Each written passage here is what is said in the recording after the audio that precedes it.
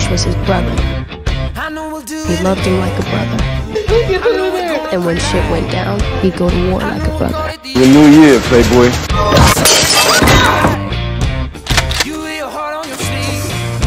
Ooh. Oh fuck you doing? What was your name again?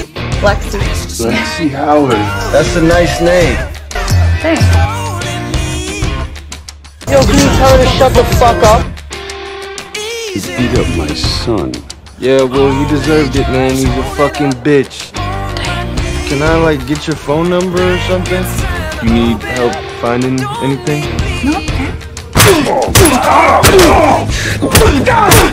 Alright, Ash, chill out, man.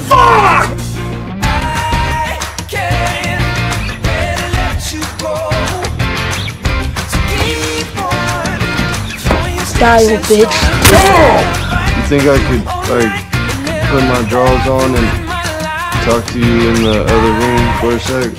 Says the guy who brings a kid to a drug deal. It's not a kid, that's my business partner. Says the guy who brings a high school girl to a drug deal. Keep your bitch ass son out of my fucking life.